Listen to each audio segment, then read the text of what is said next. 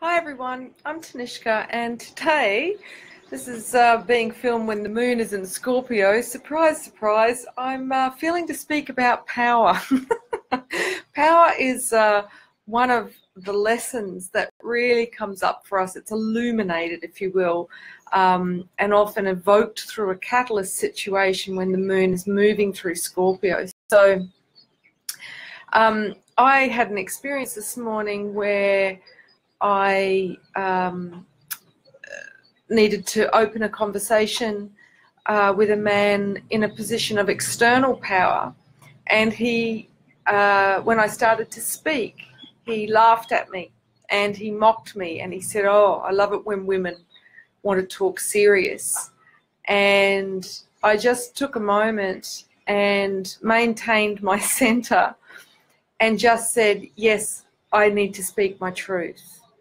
Um, and in that moment, I did not give away my personal power. And I just, you know, there are so many moments um, in a day where we have that opportunity to either stand in our power or to give it away.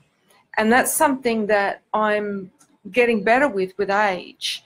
Um, I, I know as a young woman, I would often put myself down using humor, or if somebody else put me down, then I would join in with them, okay, in being self deprecating, laughing at myself.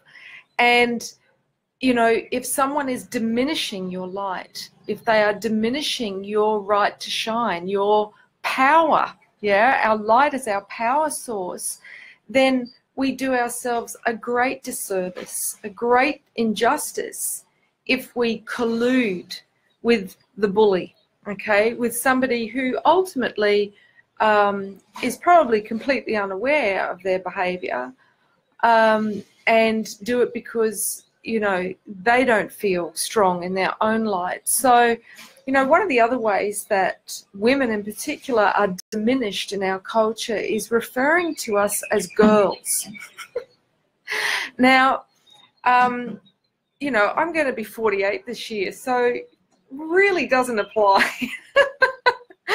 and I think, um, you know, whether we say, oh, girls' night or um, the guys and girls, I mean, we don't apply the term boy, um, you know, to men uh, we might say guys, but uh, you will often hear the term girls. Yeah, I'm going out with the girls, or the girls are coming over, um, or hey, girls, come over here. And um, this is a term of diminishment, okay, because there is power in menstruation, there is power in fertility, there is power in going deep within and rebirthing your psyche with every menses.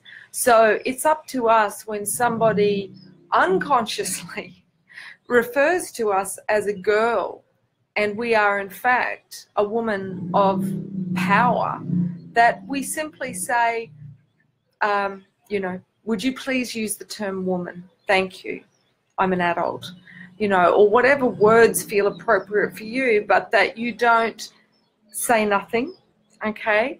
Because the throat center is the second power chakra. So it's through swallowing our truth, yeah, in order to not create waves or to be amenable, um, you know, to be likable, that we, um, you know, this fear of being seen as a difficult woman, you know, which is simply a woman who is empowered enough to be authentic, to speak her feelings, to speak her thoughts, um, unafraid. Yeah. And that is a huge reclamation right there. It's, you know, it's not about us waving placards in the street. It's about us embodying our personal power moment to moment when somebody who we encounter unconsciously minimizes us so I hope that's of some value to you today. Uh, it may be synchronistic or timely given that the moon is in Scorpio, but um, yeah, the more we practice speaking up on our own behalf and just letting people know that we will not collude in diminishing our own power, the more we raise up the collective sisterhood um, and the status of women. So thanks for listening. Hope you're having a good day or a good evening wherever you are in the world. Blessings from Bali. Ciao.